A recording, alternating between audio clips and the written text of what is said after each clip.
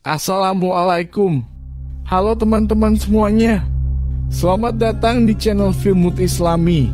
Di channel ini kita akan membahas mengenai pelajaran agama Islam, tokoh-tokoh muslim, tips-tips beribadah dan masih banyak lagi. Dan pastinya akan bermanfaat. Tonton sampai habis dan jangan sampai ketinggalan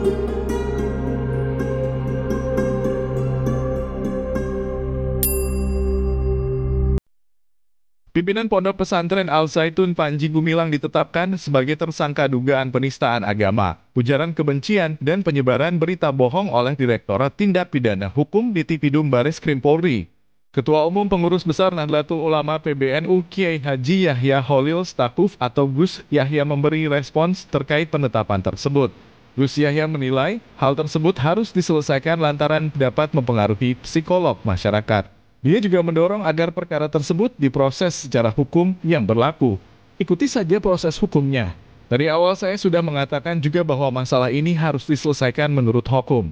Karena ini masalah yang secara substansial sebetulnya rawan dan bisa mempengaruhi psikologi masyarakat secara luas. Kata Gus Yahya di gedung PBNU, Jalan Keramat Raya 164 Jakarta Pusat. Menurut pengasuh pondok pesantren Raulatul Tolibin, Rembang, Jawa Tengah itu, Permasalahan ini harus diselesaikan agar tidak berkembang secara liar. Di sisi lain, tidak mudah untuk membuat frame atau kerangka hukum untuk mempersoalkan masalah ini. Supaya ini tidak berkembang secara liar, sebaiknya kita ikuti secara strict menurut hukum yang ada, ucap Gus Yahya. Terkait nasib peserta didik Al-Zaitun, Gus Yahya mengaku siap menampung siswa atau santri pesantren yang berlokasi di Indramayu tersebut. Dari Nahdlatul Ulama sendiri kami siap kalau memang nantinya disuruh menampung siswanya, ungkap Gus Yahya.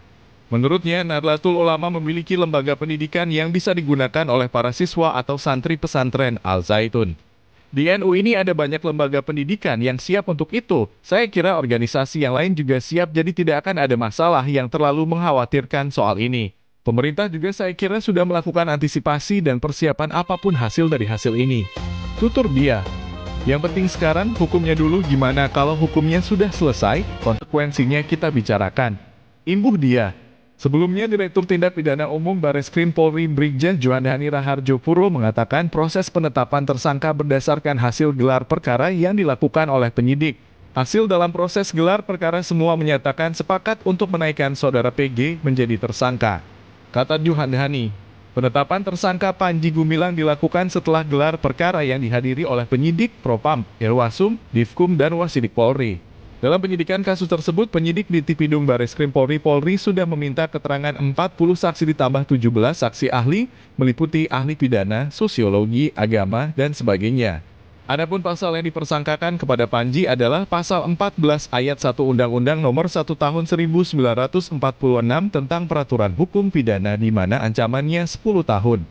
Kemudian, Pasal 45 ayat 2 Janto Pasal 28 ayat 2 Undang-Undang Nomor 19 Tahun 2016 tentang perubahan dan UU Nomor 11 Tahun 2008 tentang ITE dengan ancaman 6 tahun dan Pasal KUHP dengan ancaman 5 tahun.